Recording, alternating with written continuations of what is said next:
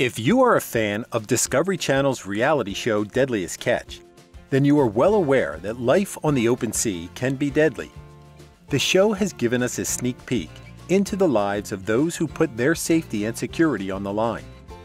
Lately, many viewers have been left wondering what happened to Summer Bay.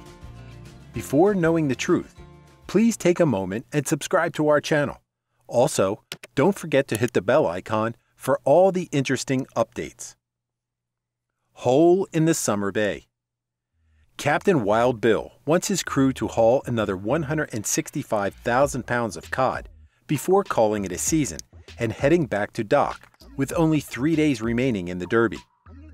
As they got closer, the crews discovered a decent-sized hole in the void filling up with water, which was not a good indication. When the seawater comes in, Bill instructs his staff to look for it and stop it from hatching. The crew members go to see where the water is coming in from in the void. Voids are empty spaces that are not supposed to contain water.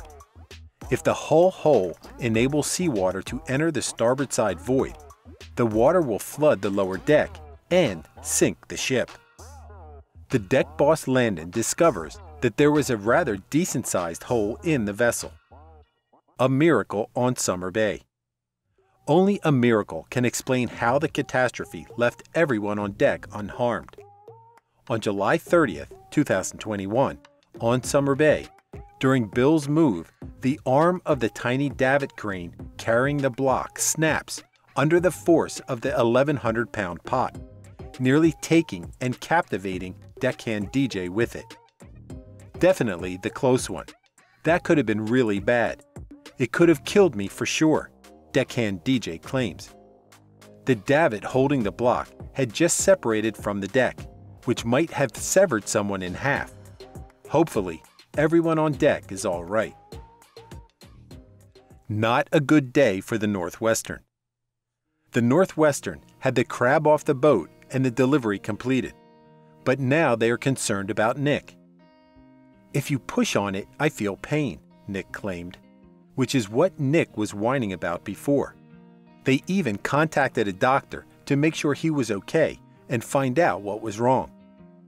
According to the doctor, it was not a good indication. That's not a good sign, and you might have to go to the clinic, the doc claimed. He seemed to be suffering from appendicitis, which can get really nasty quickly. So, he has to be rushed to the clinic. Everyone on the deck is worried about Nick Let's hope he gets well soon. Terrible spill. On June 30th, 2021, there were a few terrifying moments on the Time Bandit. A wave rolls the boat, slinging the thousand pounds of the pot onto deckhand Carl, while the crew rushes to haul to reset all of Cornelia Marie's gear. It was a terrible spill. After that, Captain Jonathan states, Sorry, buddy, you're done for the night.